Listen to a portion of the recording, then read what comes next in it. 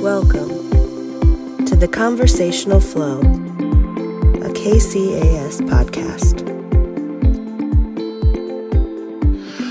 Hello, and welcome to the second episode of the Conversational Flow, an official podcast of KCAS Bioanalytical and Biomarker Services. KCAS is a bioanalytical CRO serving the pharmaceutical and biopharmaceutical industries for over 40 years. Unlike KCAS other podcasts, the Weekly Bioanalysis, which features news and topics more generally associated with the world of bioanalytical and biomarker services, the conversational flow will focus more on the niche of flow cytometry and its role within the greater industry. My name is Adam Cotty, Senior Director of Cellular and Flow Cytometry Services at Flowmetric, a KCAS company, and I've been in the flow cytometry space for about 15 years. I'm here with my co host, Brian. Thanks, Adam. Brian Wiles, I'm the general manager of the Flowmetric site, uh, a KCAS company, um, and we are here just outside of Philadelphia. Uh, I've been here for roughly a year, and I've been in the flow cytometry space in CROs for about 12 years now. Excellent. Thank you. Brian and I are members of a growing leadership and scientific advisory team at KCAS. Either or both of us are available to answer any questions you may have regarding this podcast or any of KCAS services. While our KCAS main headquarters is located in Kansas, we also have sites on the East Coast of the US and in Europe. We're both here in Philadelphia, and Jeremy, our producer, is in Missouri, so we are truly all over the map.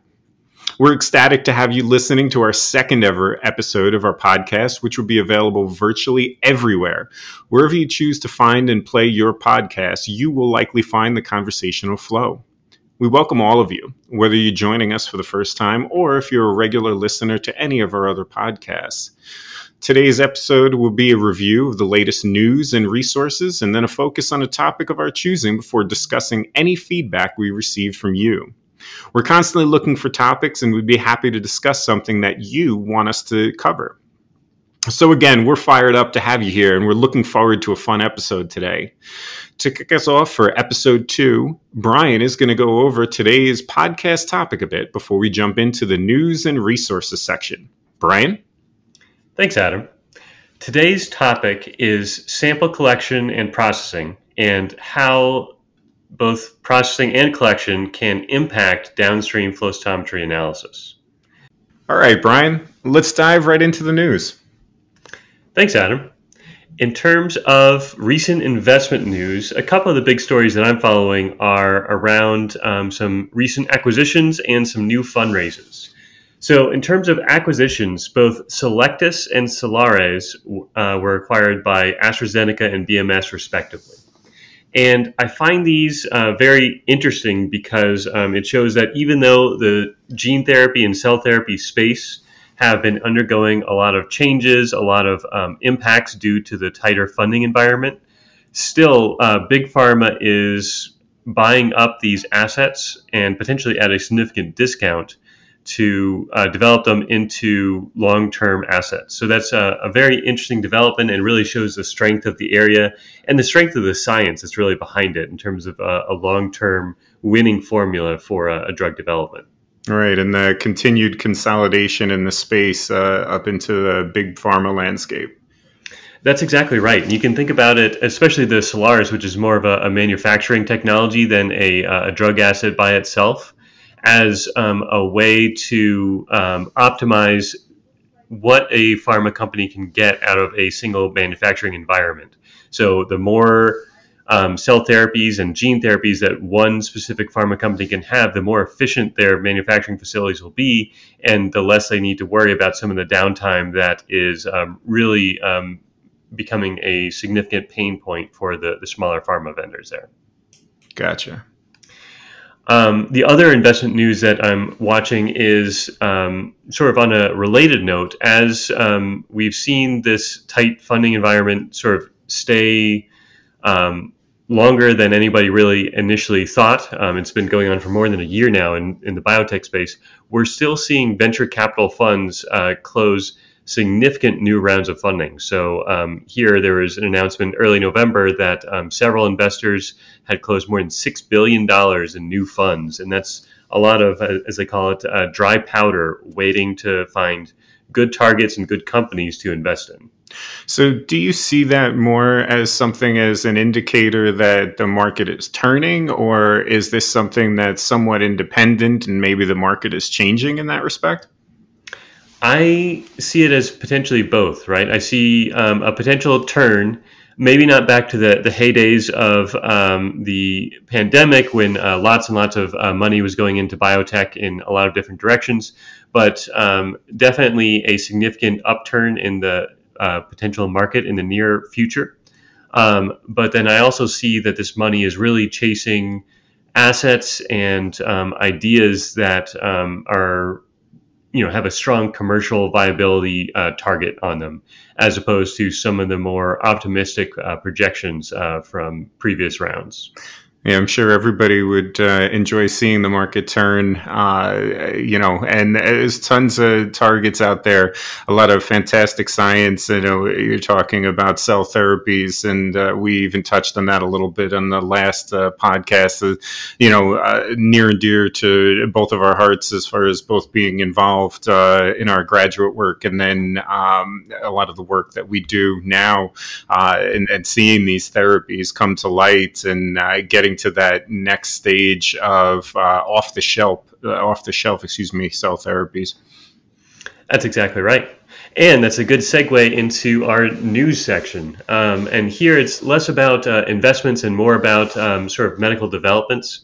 Um, and the two that uh, I've been tracking in, on that front recently have been the Vertex um, hearing with the FDA, uh, where they talked about off target uh, DNA detection, um, and the um, reception to the Keytruda combo with Padcev at ESMO.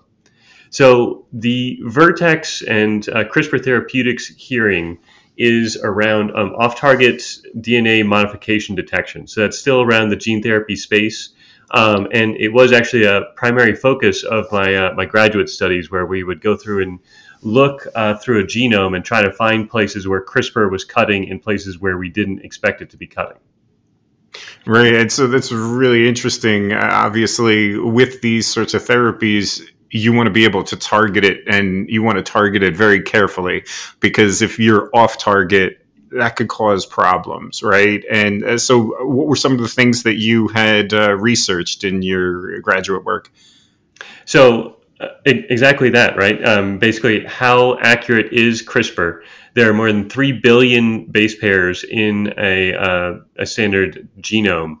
So, the likelihood of a very um, close similarity between the CRISPR target and an off target site might be only one or two base pairs. So, how accurate is CRISPR at finding the target that you're um, aiming at versus um, some other targets?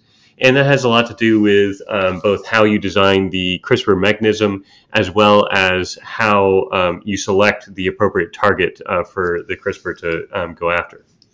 And in the case of Vertex and CRISPR, um, basically the FDA is saying that um, they have done sufficient work to identify any of these off target sites. And they no longer need to focus on um, really broad uh, sweeps of the genome to, to find new sites. And when you say they've identified sites, is this for a specific therapeutic or is this just broadly the actual technology itself? Uh, this is for their specific therapeutic. Mm-hmm. Okay. Um, so the FDA was satisfied with the um, number of different targets that they were um, looking at um, to say that there was no off target cutting. very interesting. Mm-hmm. Um, a large part of that is due to some of the improvements in the CRISPR technology they're using. Definitely, uh, CRISPR Therapeutics is at the uh, the forefront of, uh, of that field. Um, but then also again due to the um, you know pretty thorough uh, search they did for off-target uh, effects there. Um, definitely an interesting story and definitely something that we'll continue, continue to follow and potentially even uh, discuss with our in-house expert uh, Carrie Bildahal on, on follow-up meetings as well.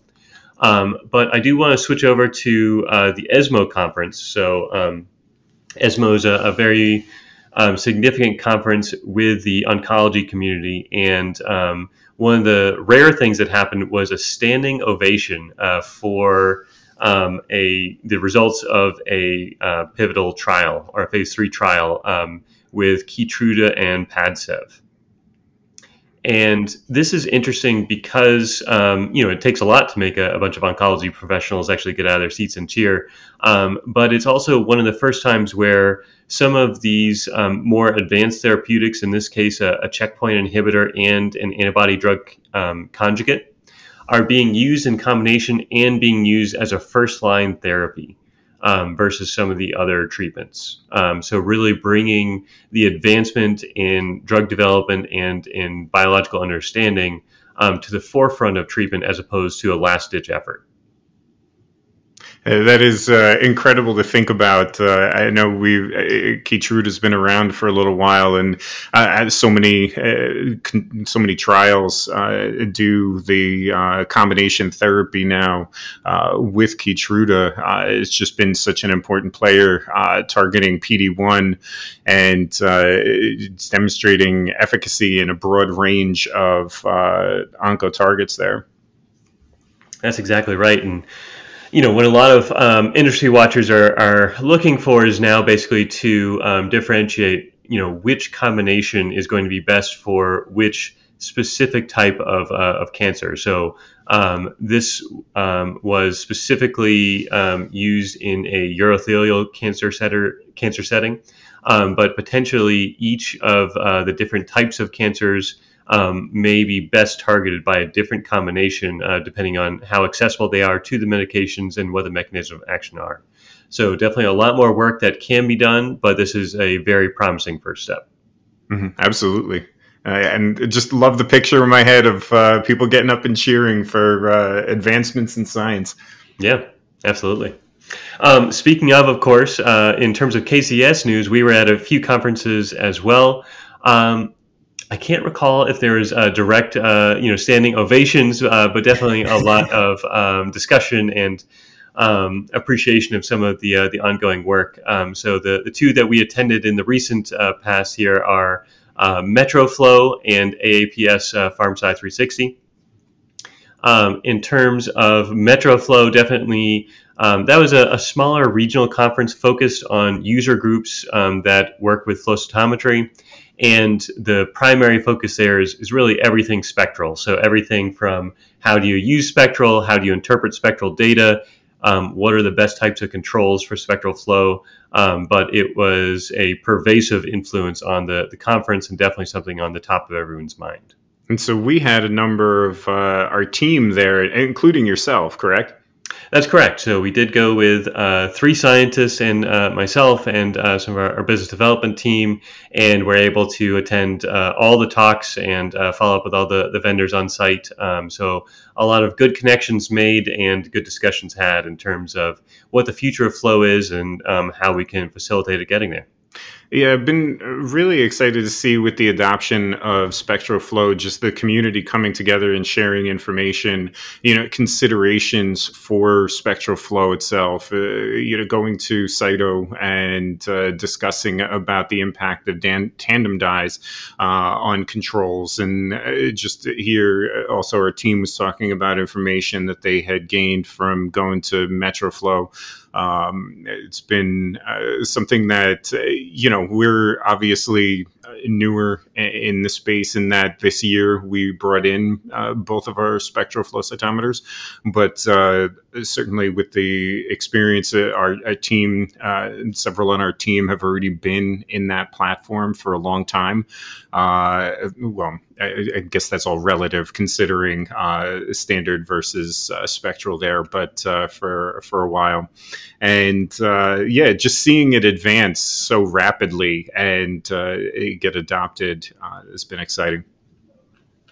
Absolutely, and you know you hit the, the nail right on the head there by calling it a community. Definitely, uh, there are a number of people that have been coming to the MetroFlow meetings for you know two, three decades. Um, and was um, inspiring to hear about you know where uh, Flow was when they first started, how they contributed ideas that uh, were then leading to some of these next generation technologies, and um, you know how ready they were to work together to figure out what the next steps were. Um, so definitely a lot of uh, good signs there. So I got to ask. I know when I came back from Cyto, I had presented you with a list of things that I wanted to purchase and things we needed to investigate. Uh, what, what's something that's at the top of your list in coming home from Metroflow? There is no shortage of uh, new shiny toys that we could purchase. Definitely, I think one of the things, and this sort of relates back to our first podcast as well, um, could be um, more on the uh, OMIQ software package. Mm-hmm. Um, you know, definitely a lot of people were very excited about that as a good way to work with Spectral Flow and a good way to transfer data quickly and easily between different groups. Right. That seems to be one of the main selling features is just being able to collaborate much more quickly, almost in real time, uh, essentially utilizing that software. I think there are other features too, right? Uh, what are some of the other things that you like about it? There are, um, and you know, some of them can be uh, the option to include uh, automation and or AI uh, or, or, machine learning into uh, the gating strategy mm-hmm. um, to ideally make the results a little bit more robust, a little bit more um, automatable um, throughout the process and scalable. Um, especially as you get into these very, very large data sets, um, having a computer do a first pass and then having a, um, a, human supervisor come through and verify that the gating is correct is a, a much, much uh, faster and more efficient way to go. Mm-hmm. Um, so definitely something that we're very interested in. Now I have to be completely open and honest here. That may have been considered in the court of law a leading question because last time I think several times we got into machine learning AI and you called out each time like there it is again, there it is, yep. and so you know kind of wanted to lead into that. That's it. Yeah. Um, but the other thing that kept coming up about um, spectral flow, of course, was um, the importance of um, all the fundamentals of flow is right as well, right? So we can absolutely talk about like these uh, these very advanced analysis techniques, but you can only analyze the data that you're presented with. All of that depends on the reagents that you use. So tandem dyes specifically being a, a concern, the controls you use to unmix that data, um, but then also the samples that go into it. Mm-hmm.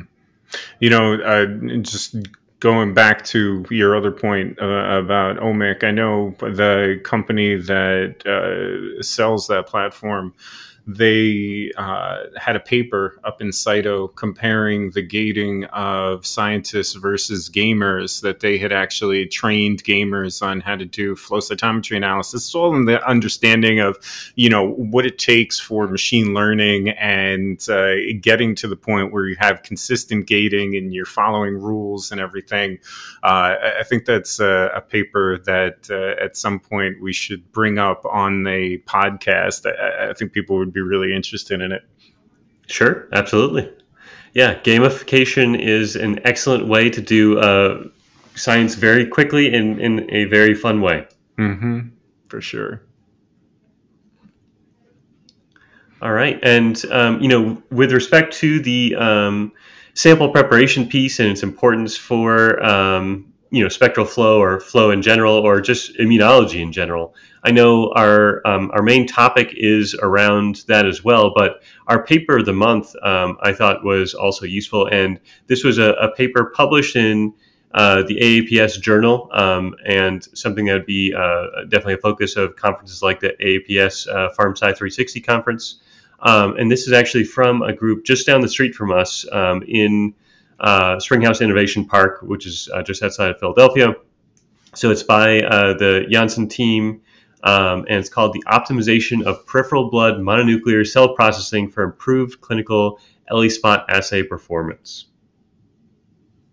A mouthful, of course. Um, it definitely is. Uh, it's um, very targeted though uh, really elegant in the, the way that they had addressed the question um, and so, uh, really, it's really core with what we do. Um, it mentions about ELISpot assays. However, they address generating PBMC, so peripheral blood, blood mononucleocytes, uh, and that's a sample type that we'll get into in the main portion of our discussion.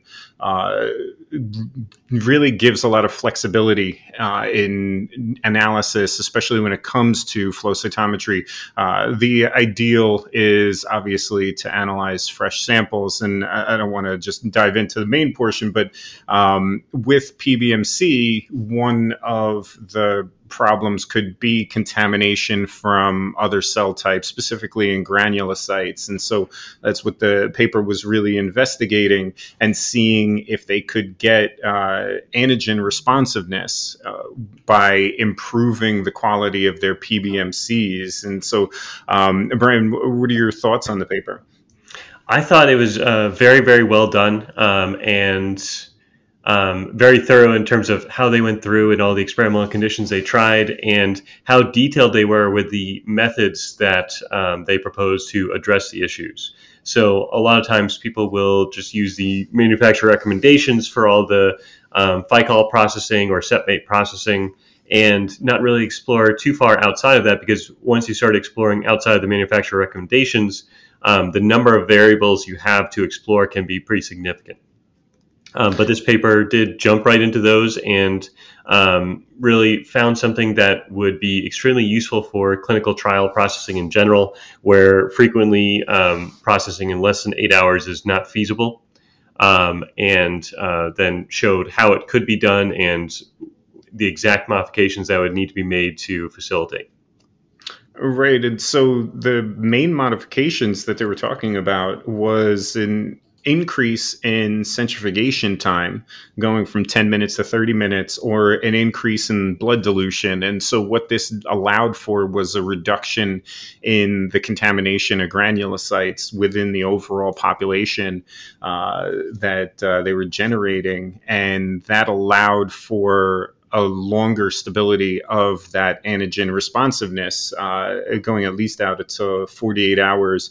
Uh, look like some, depending on what they were looking at, could go out 72 hours uh, as well.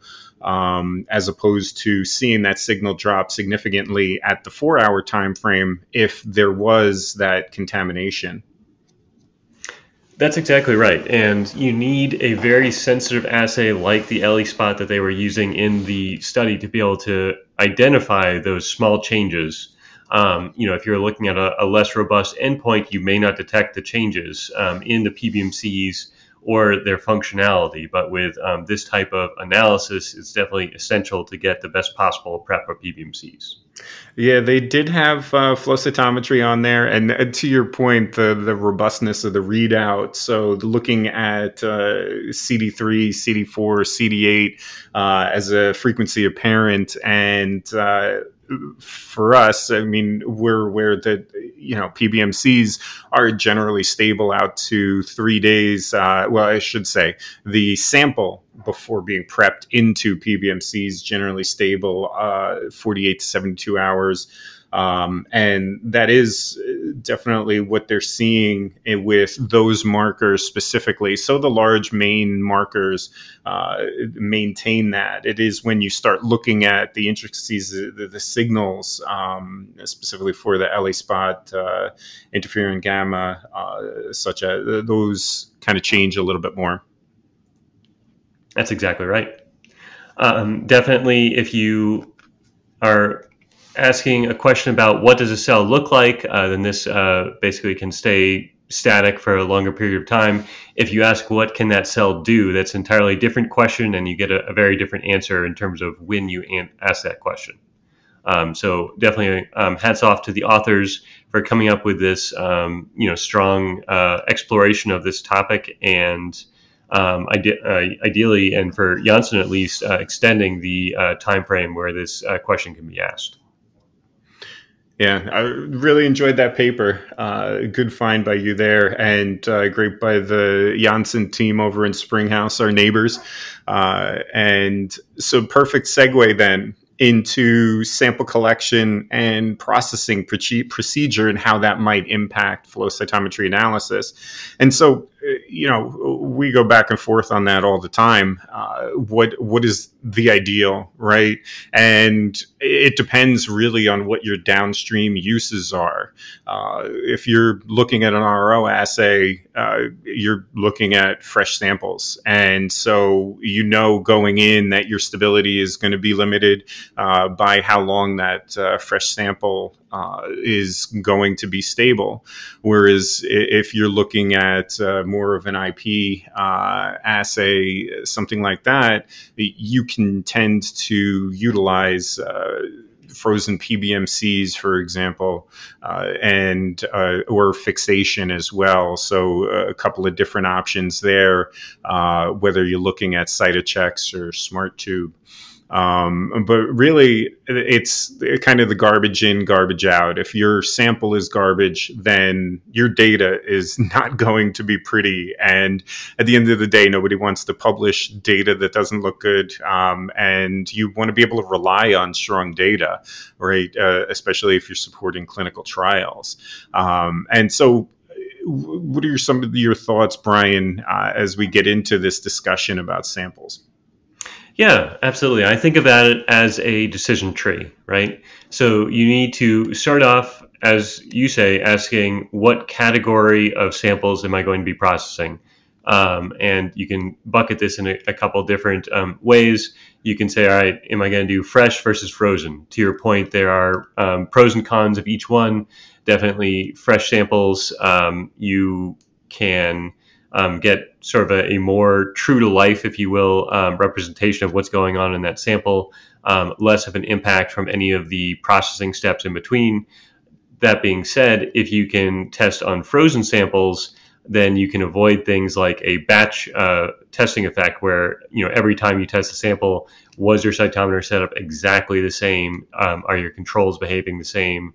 Is the analyst uh, processing your samples having a good day? So on and so forth.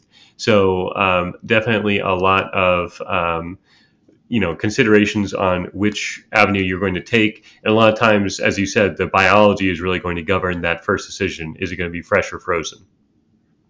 Yeah absolutely. Uh, and then when you do make the decision, say you want to go down the road of a fresh sample, you have considerations there. A lot of times with a fresh sample, you have various collection sites that are going to send them out. And so if you're going to take a fresh sample, but then you want fixation, right? You've, you got to understand whether you're using Cyto-Chex or using SmartTube. Is the site set up to be able to handle the fixation um, is the site uh, you know how, how does it work as far as uh, making sure sending out notification? Um, it's one of the things that we talk about a lot with our clients is notification. I know it's not something that's the easiest thing um, certainly but it is so incredibly useful for operations as you might imagine in making sure that you've got everything uh, set as those samples are arriving. Um, you know, and so some of the key considerations, and I know the collection sites do uh, obviously a ton of work, very hardworking, and uh, a fantastic job of uh, collect, collecting the samples uh, and getting them sent out. Um, and so uh, the other step is if you would then pair that, you want to do PBMCs, right? And again, are the sites prepared to be able to handle something like that? Um, and going from the paper that we just spoke about, if we have sites preparing PBMCs and you have a large study has multiple sites, each place could have some variability in the way those samples are prepared. And so, is your assay robust enough to be able to support that variability, or is it better to have all the samples collected as whole blood and then sent to a central place, such as our site. We do PBMC processing, or a central lab site that does the same thing. Um, uh, to ensure that there's a lot more consistency there for PBMC prep. Sure. And, you know, really all these decisions need to be happening while you're in the process of validating your assay, right? So we say fresh samples, but fresh samples are not a, a monolith. Um, you mentioned uh, fixation, so the sites have a, a couple options. You can um, choose a tube type like sodium heparin or sodium citrate, where um, the cells would be drawn into a tube with the anticoagulant already in it. Um, or you could draw into a tube like Cyto-Chex that has a fixative already in it. Or you could have sites draw into a, um, you know, a sort of standard two type like sodium heparin, and then add uh, additional fixatives in it, or even the BD fixlyse uh, process, um, and then freeze down and send it. And each of these approaches have um, pros and cons and can either extend the stability of a certain marker or, in some cases, actually mask the antigens that you're looking at. Um, so, critical there is to understand your assay and understand um, the antibodies that you're going to be using and make sure that you're titrating on exactly the right type of sample. Um, oftentimes for clients we'll do will um, identify in this step uh, with a matrix comparison um, before we start into the main part of an assay validation to understand what um, the different properties of different um, fresh sample types are before we uh, start in on the uh, the longer road of uh, qualification or validation. Yeah, and so what does that look like? Uh, somebody comes in, uh, they want to understand what is the best path for them doing that comparison, right? And so identifying which kind of, which sample type you might look at, uh, whether it's a PBMC, it's a it's a fresh, uh, it's fixed, and uh, looking at what the panel, how the panel performs uh, in each way. Uh, there are times where you could even split them up. Uh, you can get a, a fresh sample, do Trucount, and then freeze to P- process process to PBMC and freeze and uh, get a look that way on what your samples look like. And the reason that that's beneficial is you get the, that uh, Trucount look up front, but then on the back end, you can batch all the samples, all the time points together. So if you're concerned about batch effect or something like that, you might be interested in having all of the time points be run in the same batch, and that, that gives you that flexibility. Obviously, there are other ways that you can go about uh, trying to monitor and batch effect, making sure you've got uh, rainbow bead calibration, uh, depending on what type of parameters you're looking at, whether it's uh, MFI, um, MESF, or if you're just looking at percentages, uh, percentages being uh, easiest of the group uh, to, to keep an eye on, especially too as far as validations are concerned, qualifications, those percentages hold up and are generally very robust. Um, and so once you've identified what the assay is going to look like, the next step is to draft a plan, whether it's qualification validation plan, and then go through the process of looking at various test scripts so you can quantify the assay. Uh, you want to look at uh, intra assay. So how repeatable is, is the is it um, the assay itself um, within a, a, single day, uh, multiple replicates? Versus inter assay where we're looking at samples uh, generally in multiple days. If we're comparing between machines, the um, uh, inter instrument test script and then inter analyst as well, looking at different uh, scientists uh, processing.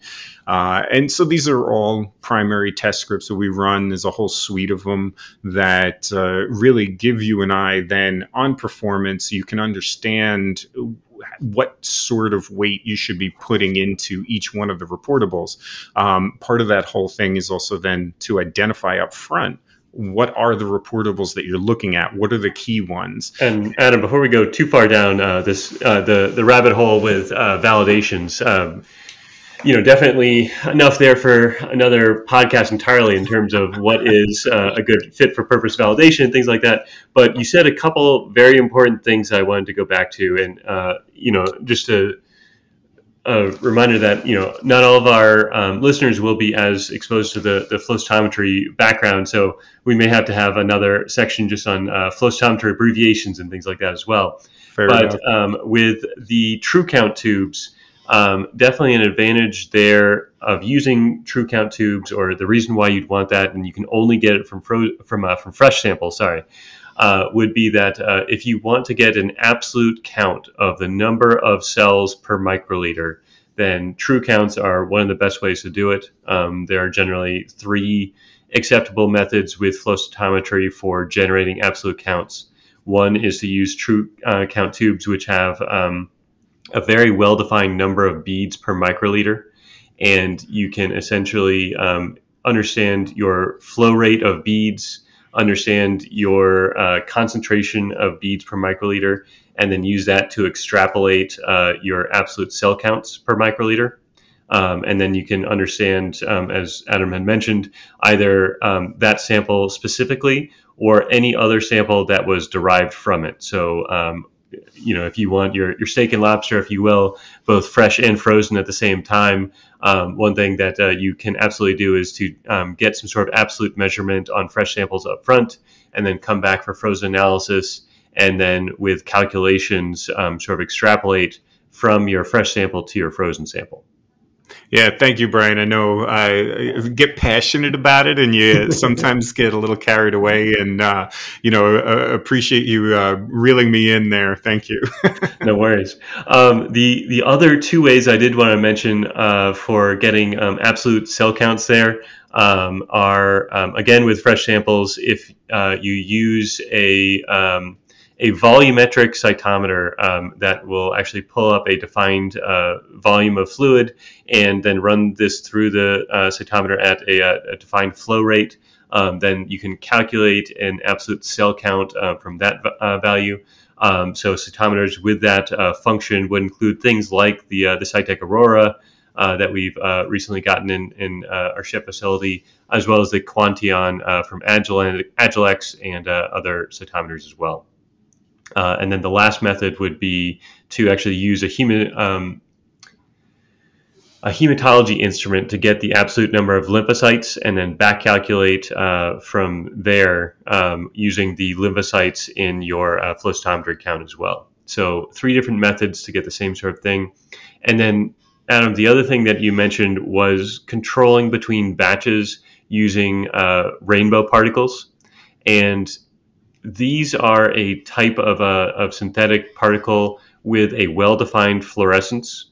Um, so exactly as you mentioned, if you want to minimize the amount of change in between batches of, uh, of flow samples, then running these types of samples will allow you to compare the magnitude of the fluorescence signal uh, between batches. So essential for things like um, RO assays where you really need to know exactly how many receptors are on a cell um, and doing that on fresh blood. Uh, this is one of the ways that we can harmonize instruments um, either um, on a global scale or longitudinally uh, within patient sets to make sure you're getting interpretable data throughout the trial.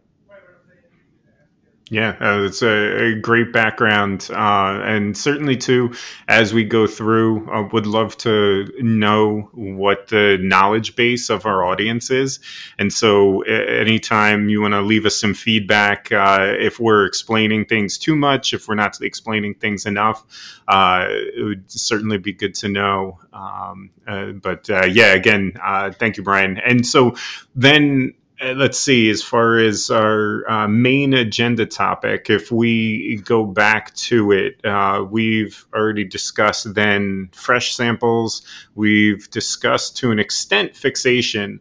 Um, but the other point that I'd like to make as far as fixation is concerned is we like to look at it uh, because it can change the epitope. And what does that mean? Well, antibodies bind based on what's bind to what's called an epitope, and uh, it's a very specific interaction where if that epitope is changed, you can think of it like a lock and key. If you change that lock, that key is not going to open that lock anymore.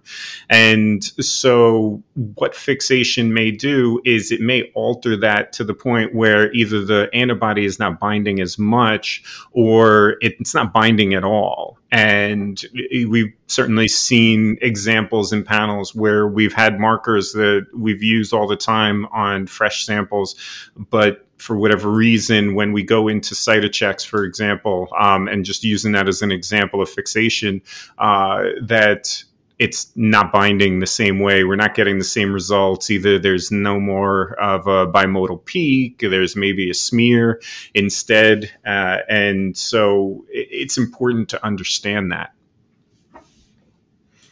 Absolutely. And all the time we'll see um, clients or assays that have been developed in one matrix and then when we go to transfer it to a different matrix, maybe the clone selected is no longer optimal because of that exact effect that you mentioned, Adam. The epitope that um, was available in one matrix is no longer available in the other um, and will disrupt the functioning of the entire panel. Right, and that's why not only do we do titration on the appropriate matrix, but we run optimization because we want to make sure that there's no interference, steric hindrance, something like that, where even though the antibody may bind on the single antibody basis of titration, when you put the entire panel together, it may not perform quite the same. Uh, actually, did have an antibody I had to kick out when I was doing my thesis work just because of that. was was losing the signal uh, whenever I was running the panel. The first time I did it, I thought I just didn't add my antibody, and uh, ran it a couple of times. And you know, certainly that's where you learn. It's really important when you're making your master mix that you've got to move the tubes over, you've got to check off the boxes so that you know what you did, so that you reduce that frustration at the back end if you're seeing a signal that might be a little bit aberrant. Absolutely correct. Um, definitely an iterative process where each step, uh, in a lot of cases, needs to be done in sequence. Um, otherwise, you will uh, open yourself up to repeating a lot of work there. Mm-hmm. So I know we've uh, gone on a lot of tangents uh, from this, uh, appropriate tangents, I certainly would say. Uh, but any final thoughts that you'd like to leave our audience with as far as uh, sample collection and processing? Well, I did want to get into PBMCs, um, definitely. Um, mm-hmm. And you know, I know we led in with the paper that was already talking about uh, PBMC processing and, and went through it in great detail and did a great job of it. Um, but just to highlight that um, this can also have a pretty significant impact on um, downstream testing. Mm-hmm. Um, you know, the paper itself used a synthetic um, freezing medium uh, to minimize the type of activation um, that you can get from PBMCs if you use something uh, like um, FBS or FCS. Um, and that's an important thing to consider as well. So, with frozen samples, uh, you had mentioned, you know, who's going to do your processing? How can you make sure that um, everyone that's going to be doing the processing is doing it consistently? Um, and the reagents that you use for that processing can be just as important. Um, mm-hmm. So that can be everything from the uh, type of anticoagulant used in the collection tube before PBMC processing to the materials and uh, kit that you're using to um, separate the cells, whether that be density gradient or magnetic based or uh, some of the other methods that are available, um, and uh, then the, the freezing uh, medium itself. So a lot of uh, different parameters that you can um, explore, but a lot of parameters that you need to make sure stay constant throughout the course of the trial. Mm-hmm. Right, and uh, just uh, backing up FBS, FCS, so uh, fetal bovine serum, fetal calf serum, uh, generally used as part of a freezing procedure uh, for samples, can be used for blocking procedure as well. Um, and is also used in cell culture generally. Uh, and so it can have factors in there that cause uh, activation uh, is something that um, you know we need to be careful about. Sure. All right. Yeah. Excellent. Um, and so uh, th- this is a huge topic. Um, many uh, different things that you can dive into uh, very specifically, but um, you know what it boils down to is really what are you, what are you looking at at the end, and uh, from there designing an assay that makes sense for you, that's going to provide you the out- output, and it's also going to be robust. It's going to be repeatable, uh, and that's obviously at the core science. You you don't want to be able to get the data one time. You want to be able to repeat that data, uh, and uh, so that's really um, part of the decision here. Um, and you know part of the experience that we bring to the table whenever we're trying to set this up um, and so you you mentioned uh, one thing earlier. I had to go back to uh, back in the news. You're talking about uh, Keytruda and the uh, the ovation. Um, I still got to talk to Jeremy about getting us a, an ovation button. Um, I, I, don't know if we'd necessarily play it, but we talked about that, a laugh track, um, uh, so on and so forth. But uh, yeah, so um, I think really appreciate that paper, Brian. Um, very informative, uh, and um, yeah, thank you. Yeah, indeed. And uh, Jeremy, I think at this point, then we usually go to uh, feedback from fans and questions. That's right. We actually have one or two that have come back from listeners of our first episode. Uh, we have one that was uh, short but sweet from Darren saying, Great kickoff, gentlemen. Thank you, Darren. Yeah. And so, do we have information on how many people actually listen to it? Yeah, I'll be gathering those, and uh, we can uh, we can kind of discuss that amongst ourselves. But safe to say, it's been a pretty healthy number, especially since we have the previous podcast that people have already become accustomed to uh, kind of tuning in for. Uh, that we had kind of a waiting audience for this one, and people responded very well. Excellent. And yeah, just, uh, you know, jumping back, thank you, Darren. Always love uh, getting some feedback. Um, you know, uh, would love to hear what you liked, uh, what you didn't like. And then we have another from Utam who says, very much looking forward to listening to your expertise and passion for flow cytometry and the impact it will make in the drug development process. Great. Excellent. Well, appreciate the uh, the words of support there. Um, definitely, that is what we're looking for. Um, you know, basically, how can we leverage all of the technology we have, all of the um, people with years and years of experience to make the drug development uh, process more robust, faster, um, and um, ideally get uh, more flow data into more uh, regulatory submissions that's all the feedback this cycle. So I'll go ahead and hand it back over to you guys. Great. Thank you, Jeremy. Uh, so, Brian, were we very punny this week? You know, we were not very punny, um, and that's that's a failing on our part, Adam. You know, we'll have to collect uh, correct this on the the next podcast.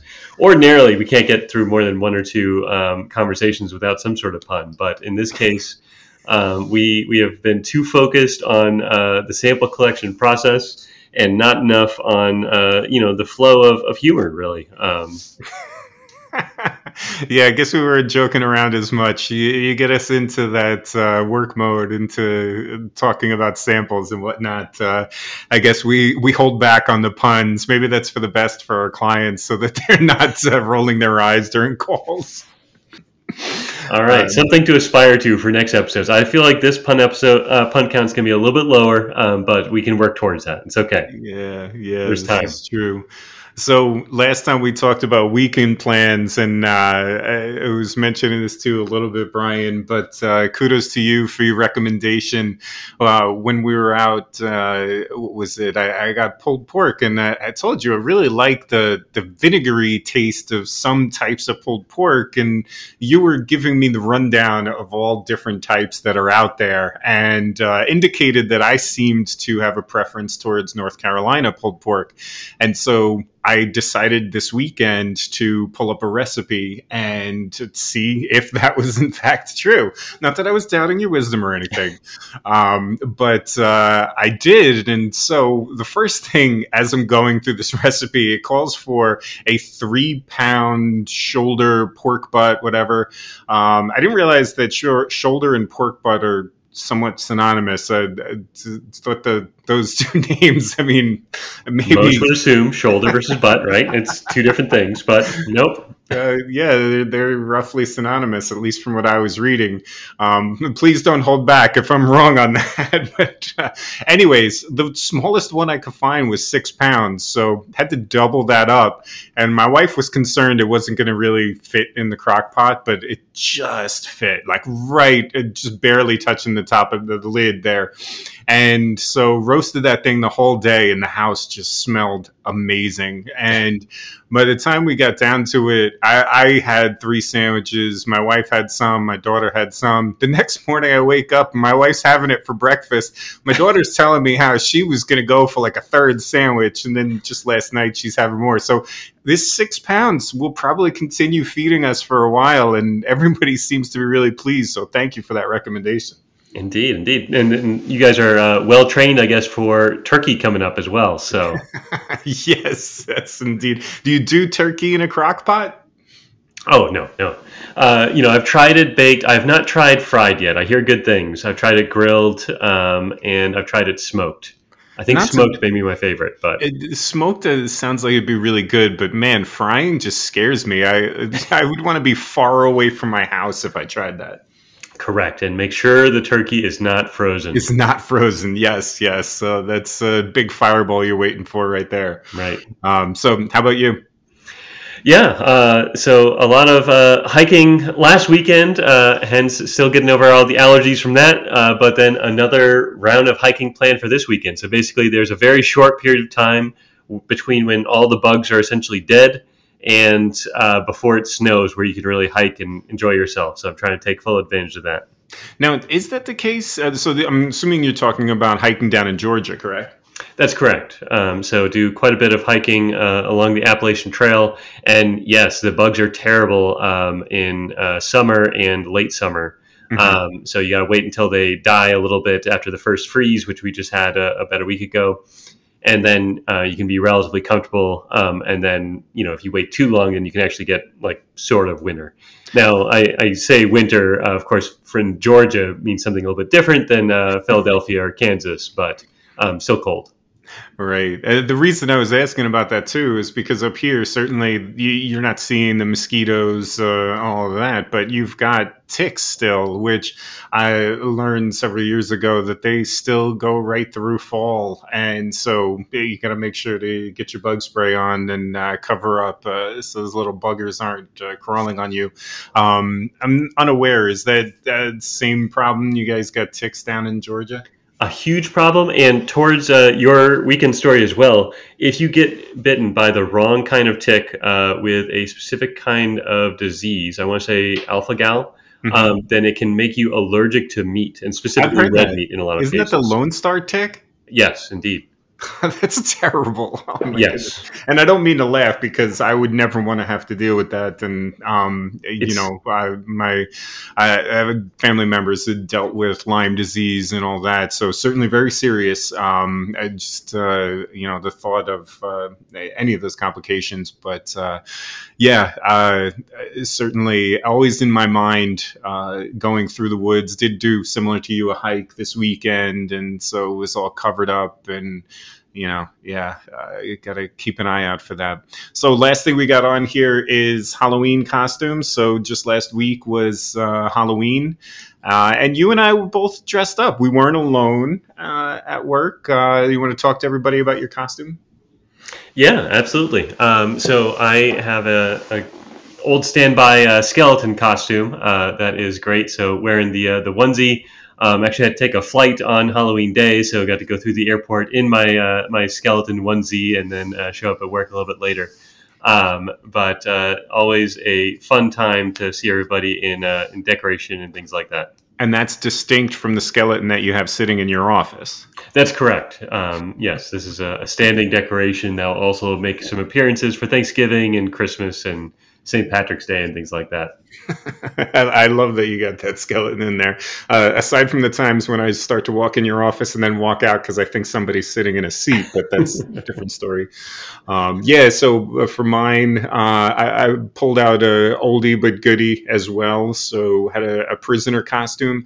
I think it's more like old school prisoner from I don't know early 1900s or something like that. I, I don't have the bag for it anymore, so um, I, I will be honest in saying that it had fake blood on it that uh, got spilled from storage. It had candle wax that had melted in because I had it in my attic, and uh, evidently there was a candle on it. So I don't know. I might be retiring that one soon. additional character. Yeah, um, it is. And, People did think that I it was purposeful, the blood, so can't complain too much, I guess. All right. Um, and Adam, I, I guess that's a, a, good spot to try to wrap up uh, this episode. Um, unfortunately, we weren't able to uh, bring Dominic and John onto the episode this week, uh, but definitely we'll look to do that for next week. Um, also, for uh, our next episode, we're looking into considerations for spectral flow. So, going more into the reagent side and data analysis side of things as opposed to the, the sample preparation side. So, looking forward to some exciting episodes and some interesting discussions moving forward as well. And then we're also looking to guest participate. I, I hesitate to call it guest starring, um, but you know, maybe more for you. Um, I, will go low key. I'll just guest participate on their st- uh, podcast soon. Absolutely, yeah. I, we'll, we'll, call ourselves stars. That's fine. So yeah, we'll guest star on their episode. So looking forward to that as well.